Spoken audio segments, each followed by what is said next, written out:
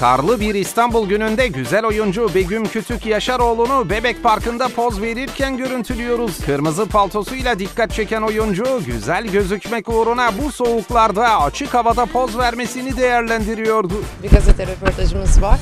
Onun için kar demeden, kış demeden çalışıyoruz. Evet, dondum ama çok soğuk, çok üşüdüm. Onu soracaktım bu soğukta böyle. E sizler bak nasıl mantolusunuz, ben böyle ama her şey daha güzel gözükmek için, daha şık gözükmek için. O yüzden vallahi kar kış demeden. Evet, maalesef. Böyle peki? E işimiz gereği öyle olması gerekiyor.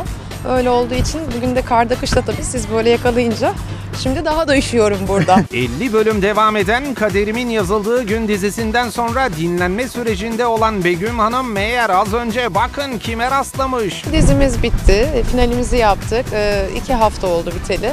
Dinleniyorum, çok yorulmuşuz çünkü 50 hafta çok uzun bir zaman dilimiydi. Öyle olunca harika şimdi. E, az önce hatta burada e, Serdar'ı gördüm, Maksut karakteri arkadaşımı diziden. Sarıldık, öpüştük. Vallahi görüşmeye devam ediyoruz. Kopmadık, arkadaş grubu. Harika gidiyor.